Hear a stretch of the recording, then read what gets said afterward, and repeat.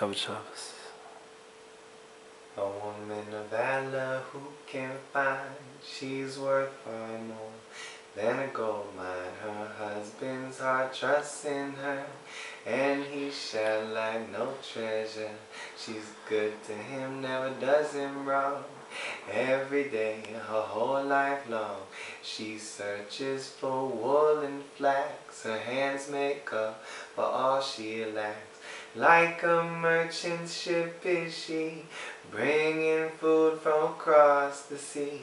While it's still night, she'll rise from bed, make sure her whole household gets fed. She pictures a field, buys the land, and plants a vineyard from the fruit of her hand. Strength is wrapped around her waist with courage. Both her arms are braced. She tastes that her trade is good. Her light is not snuffed out even night. Sends her hand to the wheels spinning, spools of thread into linen, spreads a palm to the poor man. And to the needy she lends her hand.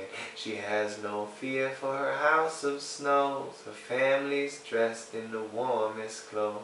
She's made blankets for her bed. The clothes are soft and crimson red. At the gates her husband's a well-known man who sits with the elders of the land. She sells a scarf that she made herself and puts her goods on the market shelf. Dressed with strength and dignity, she laughs at what may come to be. She opens her mouth with wisdom, and the teaching of kindness is on her tongue. The ways of her household she can guess. She eats no bread of laziness. Her children rise and make her proud. Her husband praises her out loud.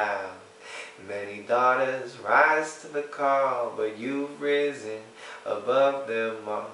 Grace is false and beauty's phase. Let the woman who fears God be praised.